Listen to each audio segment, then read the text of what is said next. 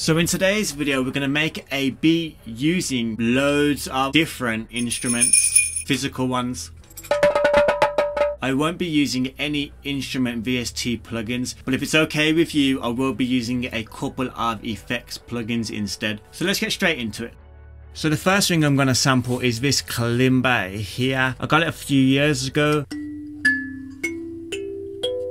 Got it from Amazon. It was quite cheap, I think. I'll put the link in the description below if you do want to get one as well. It's pretty cool. It says the keys on here, but I'm pretty sure they're out of tune. I don't have like a special sampling equipment, just my Blue Yeti microphone. So what I'm going to do now is put it into a simpler. A simpler is basically a type of sampler in Ableton. If you don't use Ableton, I'm pretty sure most stores have samplers. Also, I'm going to get a tuner as well, just to make sure I know what key it's in. Because as I said, I'm pretty sure my kalimba is out of tune. So I set a note in the piano roll to middle C. The tuner will tell us if it's in key or not. If it's not in key, simply just change the transpose and the detune until it's in key. So I've messed around with the warp, some of the LFO settings as well as the transpose detune. So for a melody pattern I'm going to be using one of the midis from the Liftoff which is out January the 3rd. If you do want Matisse the pack you get 10 free loops that is in the description right this second. So this is the lo-fi section of the pack.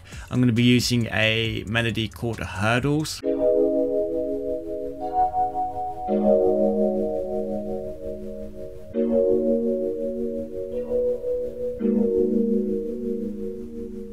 I tell you what, that doesn't sound bad at all. And I didn't mean to have that extra like noise in there, but it makes it sound really lo-fi. And because I changed the LFO settings, it's doing like a crazy movement as well, which makes it sound cool. First of all, I'm going to stick a Cymatics Origin Vintage plugin on there.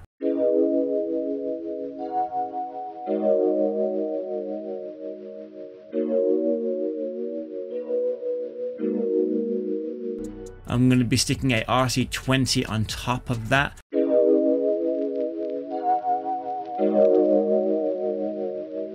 A bit of EQing as well, the low end, and I've added another EQ as well just to get out some of those harsh kind of sounds. It was sounding a little muddy so I threw a fresh air in there just to try and make it sound a bit brighter.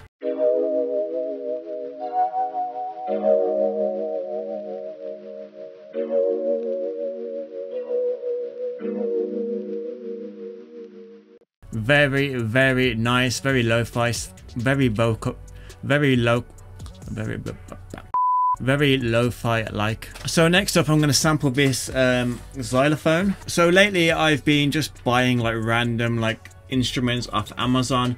They're mainly supposed to be for like kids to learn stuff but they let off some really nice sounds and they are quite cheaper as well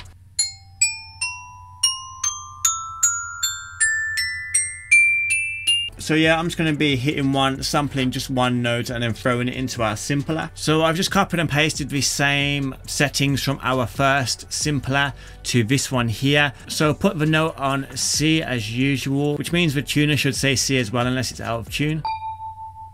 There you go, A, so it's out of tune. Just quickly change the transpose and the detune. Then I'm going to use the lead MIDI from the Liftoff sample pack.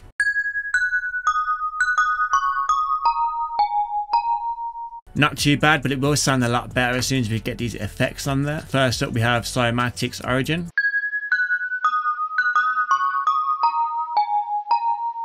Space Light by Cymatics.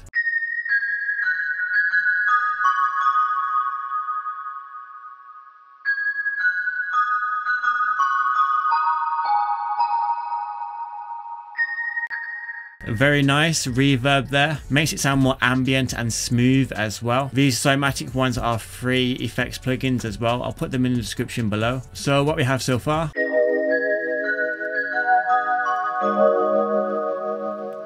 So next up we have this flute here. I have no idea how to really play the flute other than just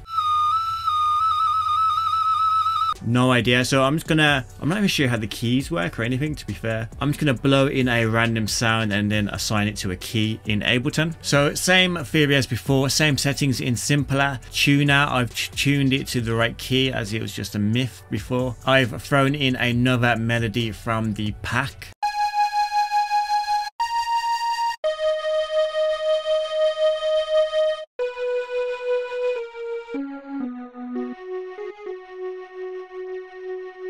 Yeah, it doesn't really even sound like a flute anymore, but it sounds, I can get the sound quite good in this mix, I reckon. Throwing on Origin, Space Light, little bit of EQing because there was really some high, harsh frequencies in there.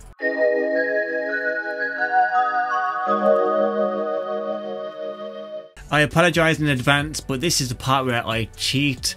Um, I'm not creative enough to make a decent sounding bass line for this out of just regular instruments. I know it's possible, but um, instead I have just cheated.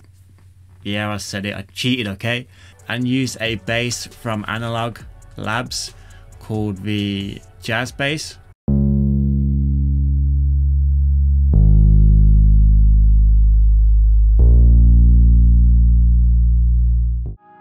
So in my last video I said to you guys if you comment lift off in the comment section below I'll give you a shout out in my next video. Well this is that next video and here are the people that commented.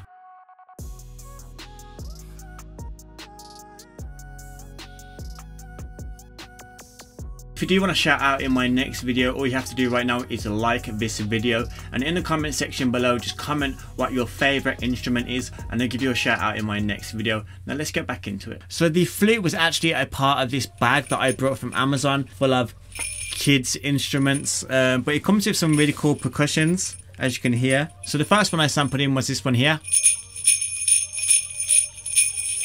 As it is Christmas, didn't throw it into a simpler, I just threw straight into Ableton, chopped it up so it was on time, and now it sounds like this. Threw on Origin and Space Light.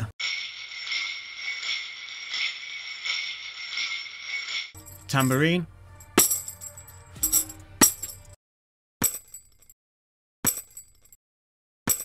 I made these hi-hats from the tambourine as well all I did was just cut some of the tambourine up in simpler. Shaker.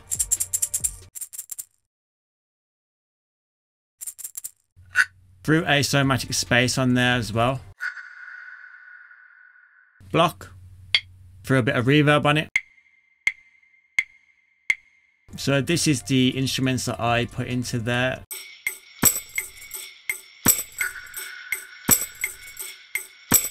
Not too shabby. Found a random kick and snare. I didn't make my own again. If I, I just didn't.